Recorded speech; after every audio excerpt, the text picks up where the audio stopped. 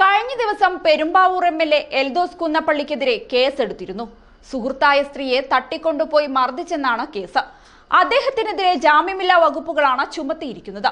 പരാതിയിൽ താൻ ഉറച്ചു നിൽക്കുന്നുവെന്നാണ് വഞ്ചിയൂർ പോലീസിനും മജിസ്ട്രേറ്റിനും യുവതി മൊഴി നൽകിയത്. ഏതായാലും വലിയൊരു ഊരാക്കുടുക്കിലാണ് എൽദോസ് എം എൽ എ കുടുങ്ങിയത്. ഈ കുരുക്കേതായാലും അഴിക്കാൻ പറ്റുമെന്നും തോന്നുന്നില്ല.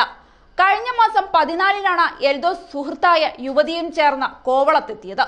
അവിടെ വെച്ച് വാക്കുതർക്കമുണ്ടാവുകയും തന്നെ എൽദോസ് കുന്നപ്പിള്ളി മർദ്ദിച്ചുവെന്നുമാണ് യുവതിയുടെ പരാതി. ഇപ്പോൾ എം എൽ എക്കെതിരെ മറ്റ് ചില പരാതികളും യുവതി ഉന്നയിക്കുന്നുണ്ട്. പരാതി പിൻവലിക്കാൻ എൽദോസ് കുന്നപ്പള്ളി തനിക്ക് മുപ്പത് ലക്ഷം രൂപ വാഗ്ദാനം ചെയ്തിരുന്നുവെന്നാണ് പരാതിക്കാരി പറയുന്നത്.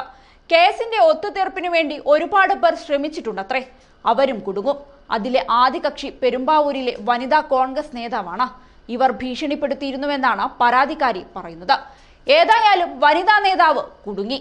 അതേസമയം എം എൽ എയുമായി തനിക്ക് പത്ത് വർഷത്തോളം അറിയാമെന്നും സ്വഭാവം മോശമാണെന്ന് മനസ്സിലായപ്പോൾ ഒഴിഞ്ഞു മാറാൻ ശ്രമിച്ചിരുന്നുവെന്നും ഇതിനുശേഷം വലിയ ഉപദ്രവമാണ് എം എൽ എയിൽ നിന്നും ഉണ്ടായതെന്നുമാണ് പരാതിക്കാരി വെളിപ്പെടുത്തിയിരിക്കുന്നത്.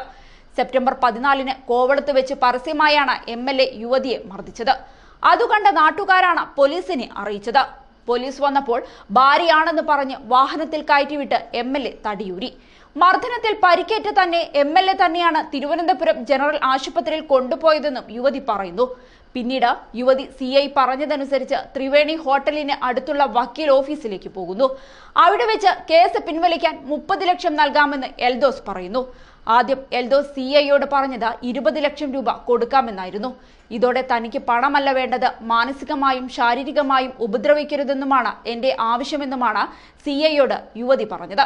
അതേസമയം പരാതി ഒത്തുതീർക്കാൻ ആവശ്യപ്പെട്ട് സമീപിച്ചവർ രാഷ്ട്രീയക്കാർ മാത്രമായിരുന്നില്ലെന്നാണ് യുവതി പറയുന്നത്. പിന്നീട് സമ്മർദ്ദം ശക്തമായി.